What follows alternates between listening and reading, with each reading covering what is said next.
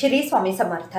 नमस्कार मी किरण आपल्या सर्वांचं आपल्या स्वामी रिलायझेशन चॅनलवर स्वागत करते. आज परत पुन्हा एकदा आपल्या सर्वांसाठी अनुभव घेऊन आलेली आहे.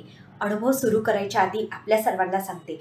ज्यांना पण प्रदीपदादा सोनवणी यांच्या महिला सेवेकरी ग्रुपमध्ये ॲड व्हायचं असेल तर माझा स्वतःचा स्वामी रिअलायझेशन नंबर मी यूट्यूबवरती दिलेला आहे. खाली डिस्क्रिप्शन बॉक्समध्ये पण बघा.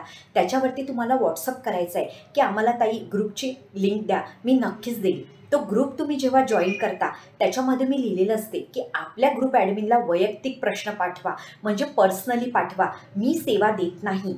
सेवा तुम्हाला ग्रुप ॲडमिनच देतील आणि तुमच्या ग्रुपमध्ये माहिती येते. दादांचं मठ कुठे आहे? दादा कधी भेटतील? हे सर्व काही तुम्ही तुमच्या ग्रुप ॲडमिनला विचारायचं आहे. मी फक्त ग्रुपच्या लिंक देते. तर आजचा अनुभव आहे एका स्वामी भक्त ताईंचा. त्या ताई सांगतात की ताई श्री स्वामी समर्थ महाराजांवर इतका अफाट विश्वास आहे ना की असं वाटतं की डोळे खोललं तर एकदम जादू जशी जणू आपल्यावर होते. आणि श्री स्वामी समर्थ या नावामध्ये भरपूर शक्ती आहे. ताई मी स्वतः जॉब करणारी आहे आणि माझा भाऊ आहे. भरपूर दिवसापासून जॉबसाठी प्रयत्न करत होता पण त्याला यश येत नव्हते. मग त्याच्यानंतर मी महिला सेवेकरी ग्रुपमध्ये ॲड झालेले होते प्रदीप दादांच्या. मी ग्रुप ॲडमिन ताईंकडनं माझ्या भावासाठी सेवा घेतली.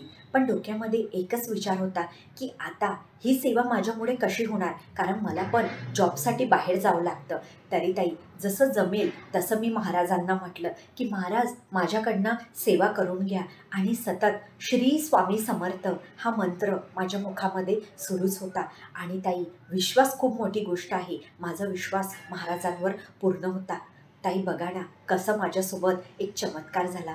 तिसऱ्या दिवशी माझ्या भावाला एका कंपनीमधनं कॉल आला की तुमचं सिलेक्शन झालेलं आहे तुम्ही उद्यापासनं ऑफिसला या.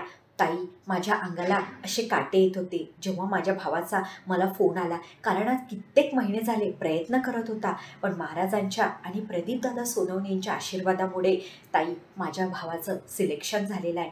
असाच आशीर्वाद सदैव महाराजांच्या आमच्या पाठीशी राहू देत. हा अनुभव आपल्या सर्वांना कसा वाटला? मला नक्की कमेंट बॉक्समध्ये सांगत चला आणि आपल्या चॅनलला सबस्क्राईब करायला विसरू नका.